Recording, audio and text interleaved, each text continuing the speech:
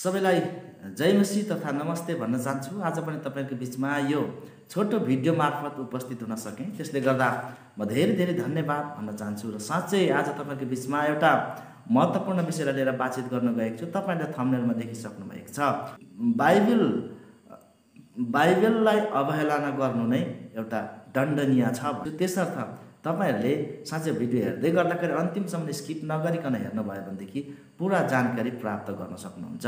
र साँच्चै जसले पहिलाचोटि भिडियो हेर्दै हुनुहुन्छ भनेदेखि च्यानललाई सब्सक्राइब गर्न नभुल्नुहोला र साइडमा भएको बेल आइकन दबाइराख्नुहोला जब जब म यसरी महत्त्वपूर्ण भिडियो अपलोड गर्दै गर्दा पहिलाचोटि नोटिफिकेसन तपाईँ समक्ष पुग्न सकोस् भनेर म तपाईँलाई यो अनुरोध गर्दछु। र हुन्छ आउनुहोस् तपाईँहरूले यो भिडियोलाई हेर्न सक्नुहुन्छ। विशेष गरी यो भिडियो हेर्दै गर्दाखेरि चाहिँ तपाईँहरूले यो भिडियो जो चाहिँ देख देख्नु भएको छ यो भिडियो चाहिँ आज साँच्चै जम्मू काश्मीरबाट चाहिँ बाइबलहरू बाइबल ट्रेक्सहरू चाहिँ लिएर पेपर मिलमा लाँदै गयो किनकि बाइबललाई चाहिँ पेपर मेला यसलाई पेपर मिलमा लगेर चाहिँ यसलाई फेरि पनि पेपर बनाएर केही काममा युज गर्नको निम्ति यो बाइबललाई लिएर चाहिँ पेपर मिलतिर जाँदै गरेको घटना हो।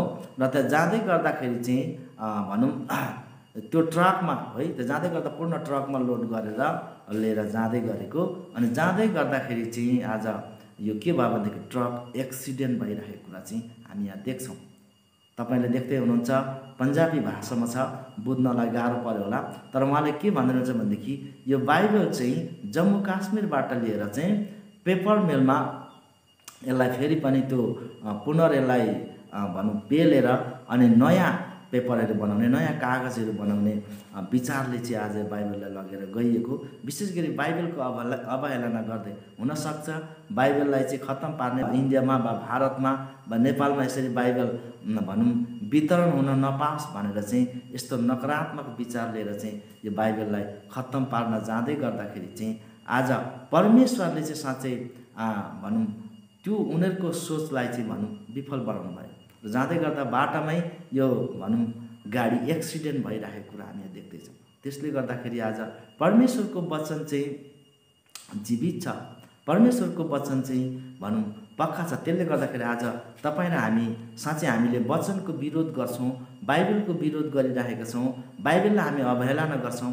कति विश्वासीहरूले हामी क्रिस्चियनहरूले पनि आज बाइबललाई आधार हामीले गर्दैनौँ। बाइबलको वचन हामी सुन्छौँ तर त्यसलाई हामीले हल्का त प्रकारले लिएका छौँ भने बाइबल चाहिँ शक्तिशाली छ।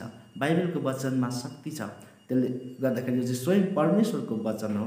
त्यसले गर्दाखेरि आज हेर्नुहोस् स्वयं परमेश्वरले जुन चाहिँ यो बाइबललाई चाहिँ साँच्चै लगेर पुरा खत्तम भनौँ यसलाई पेलेर फेरि खत्तम पार कागज मेलमा लिएर जाँदै गर्दाखेरि चाहिँ आज यहाँ के देख्छौँ भने प्रभुले आदि बाटोमै उनीहरूको योजनालाई विफल पार्नु एक्सिडेन्ट भयो। एक्सिडेन्ट भएर आज प्रभुका दासहरू पास्टरहरू भनौँ क्रिस्चियनहरू चाहिँ आएर ती बाइबललाई के गर्दैछन् भनेदेखि भनौँ स्याहार्दै गरेको तिनीहरूलाई भेला गर्दै गरेको हामीहरू यहाँ देख्छौँ। त्यसले गर्दा तपाईँहरूलाई म एउटा यो जानकारी दिन चाहन्छु।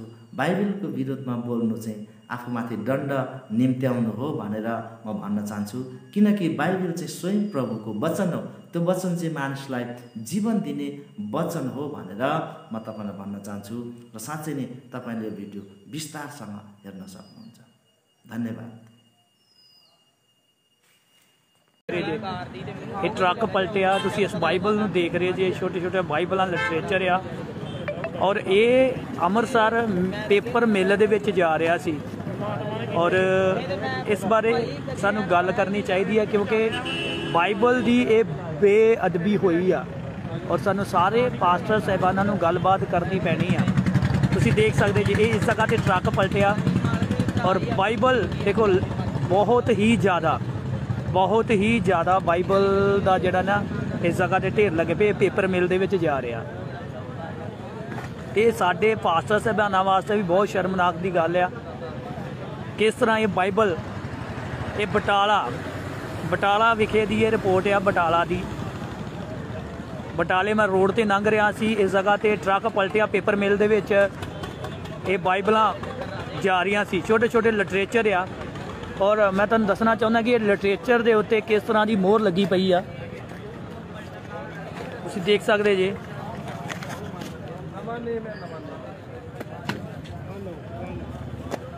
ਦੇਖ ਸਕਦੇ ਜੇ। ਇਹ ਪ੍ਰਾਰਥਨਾ ਭਵਨ ਚੌਂਕ ਪਠਾਨ, ਪਠਾਨਕੋਟ ਤੋਂ ਆ। ਔਰ ਇਹ ਦੇਖੋ ਚਮਤਕਾਰ ਚਰਚ ਗੀਤ ਦੂਸਰਾ ਆਇਆ ਚਮਤਕਾਰ ਚਰਚ ਗੇਟ ਭਗਵੰਤਾਂ ਵਾਲੇ ਅੰਮ੍ਰਿਤਸਰ। ਕਿੰਨੀ ਜ਼ਿਆਦਾ ਬੇਅਦਬੀ ਹੋ ਰਹੀ ਆ।